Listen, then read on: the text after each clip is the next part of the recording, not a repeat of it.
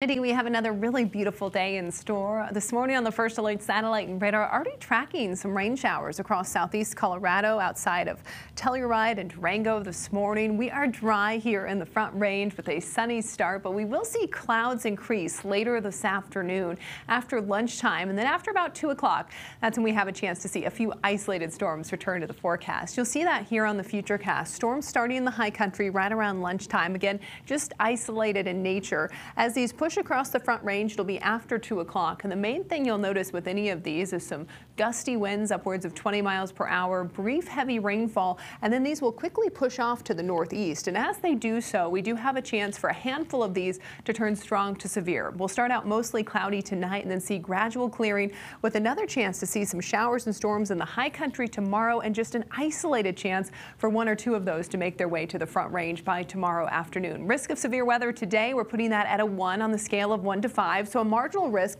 out along I-76 from Fort Morgan out through Sterling. Main threat here going to be large damaging hail as well as some wind gusts upwards of 50 to 60 miles per hour. Temperatures today, another warm day on tap with highs in the upper 80s. Greeley touching 90 degrees. We'll be in the mid 90s in southeast Colorado and really comfortable up in the mountains in the 60s and 70s with the 80s out to the west. So a nice round out to your weekend. Here in Denver topping out at 89 degrees as well as in Commerce City. 90 in Brighton and up in Fort Lupton, 88 out at the airport and in Aurora. Overnight tonight, those clouds will clear out. Temperatures will fall into the 50s here in the Denver metro area. And then tomorrow, another warm day on tap with temperatures once again running above normal for this time of year in the mid to upper 80s across the front range. But that doesn't last long. We are tracking changes coming your way as we look ahead to the end of the week. We're tracking a trough of low pressure. That's going to move in, and that's not only going to bring a better chance for us to see some rainfall rainfall in the forecast for the end of the week and into the weekend.